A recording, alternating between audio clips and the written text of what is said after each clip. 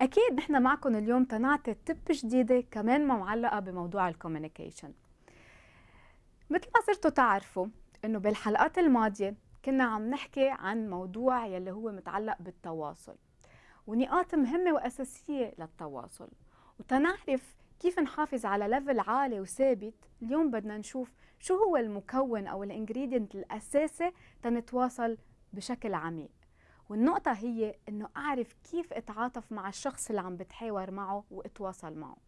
يعني بكل بساطة حط حالي محله حس بوجعه بفرحه أو بتعصيبه.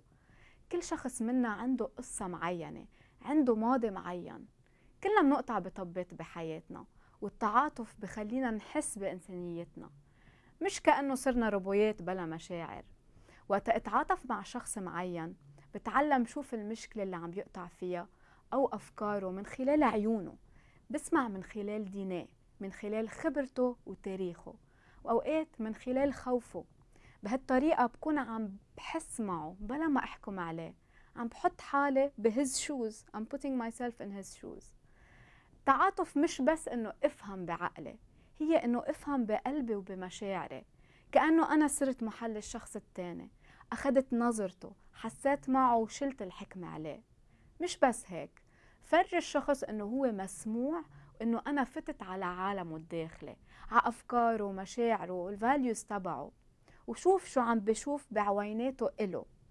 اليوم كل شخص بيقشع الحياة بعويناته إله بفلتر خاص فيه.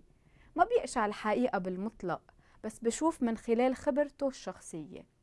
اليوم تأتعاطف معه بدي أقشع من خلال عويناته وخبرته مش من خلال خبرتي. ومحل ما أنا واقف بدي أوقف بالزاوية اللي هو فيها وحسسه إنه هو مفهوم. ليه بدي أعمل هيك؟ تقدر أتواصل وأفهم الآخر لازم فوت على عالمه. ما في ضل محلي وأتوقع إنه أفهم عليه. بدي أقرب المسافة بدي أبني جسر تهين التواصل. لأنه إذا ما عملت هيك رح كون عم بعمل فرضيات وعم بحكم على الشخص أو على مشكلته من برا بلا ما أعرف قصته. مثلا تخيلوا إنه في بنت فتت على شغل جديد وشركة جديدة وبلشت تلاقي محلها وتتعلم. بس اجى نهار واضطرت تفرس لأنه إما فاتت على المستشفى وما كان فيها تتركها. وغابت نهارين عن الشغل. وقتها رجعت من الشغل ما حدا سأل عن شو صار معها. خصموا لها من معاشها لأنه غابت وما حدا سأل أو تعاطف مع حالتها وشو صار مع أمها. هيدا أول سيناريو. تاني سيناريو صار ذات الشي مع هيدا البنت. بس مديرة كان كتير supportive ودق لها تيطمن كي كيف صارت أمها؟ وكان كتير مهتم بوضعها وحسسها إنه هو فهمان بشو عم تقطع لأنه موقف منه هين. ووقتها رجعت على الشغل ضلوا عم بسندها ويطمن عن أمها وقال لها إنه هيدا وضع استثنائي وكتير دقيق إنه ما تعتل هم وإنه كله انحدى شو رايكم الفرق؟